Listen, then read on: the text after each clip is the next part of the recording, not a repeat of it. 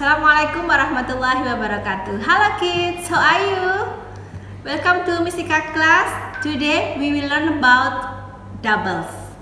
There was one number that we needed two of to make ten. What was the number? Ada satu angka dari 1 sampai 10 yang kita butuhkan untuk membuat 10 tapi e, angkanya sama. Angka berapa ya?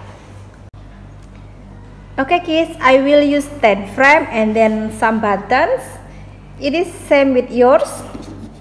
Dan Misika akan menggunakan sedotan untuk membagi dua because today we will learn about doubles. First, pertama Misika akan menaruh uh, sedotan ini membagi dua dari 10 frame kita. And then I will put 5 buttons of the same color along the top row. Misika akan naruh 5 di bagian atas. 1 2 3 and then 4 and 5.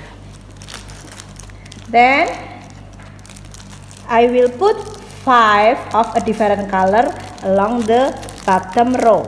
Misika taruh di bawahnya, 5 di bawahnya it is to make 10 1 2 3 4 and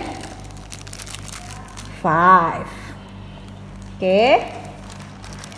Double 5 make 10 1 2 3 4 5 6 7 8 9 and 10 5 and 5 makes 10 okay kids 5 and 5 makes 10 or double 5 makes 10 5 tambah 5 sama dengan 10 What is double? Apa itu double?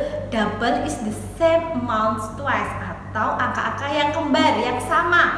5 tambah 5 nanti jadinya 10 Setelah ini kalian mencoba angka-angka lain yang kembar yang sama untuk membuat double. Bisa 2 and 2 makes berapa gitu ya. Nanti kalian mencoba selamat mencoba anak-anak. Tetap semangat. Selamat mengerjakan worksheet. Terima kasih anak-anak. Bye. Wassalamualaikum warahmatullahi wabarakatuh. Thank you